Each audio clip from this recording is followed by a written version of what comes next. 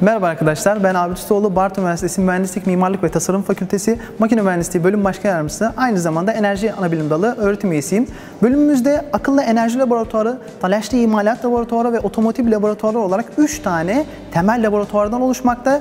Burada bulunan cihazlarla, eğitim setleriyle öğrencilerimiz kendilerini hem teorik hem de uygulama alanında geliştirebilme imkanı bulmaktalar. Bölümümüzde öğrenci merkezli bir eğitim anlayışına sahibiz. Öğrencilerimizin hayallerinde olan hedeflerini gerçekleştirebilmeleri için hem teknik anlamda hem de maddi anlamda elimizden gelen bütün destekleri vermekteyiz.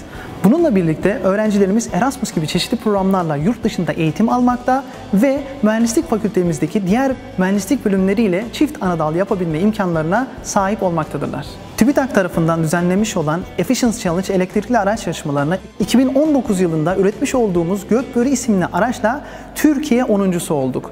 Burada Gökbörü'nün motoru da tamamıyla öğrencilerimiz tarafından üretilmiştir. Ayrıca öğrencilerimiz Teknofest kapsamında düzenlenen yarışmalara insansız hava aracı ve roket üretimi yaparak katılım sağlamıştır.